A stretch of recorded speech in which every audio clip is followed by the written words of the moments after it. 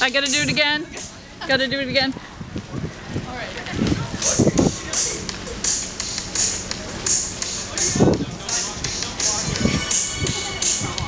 Again.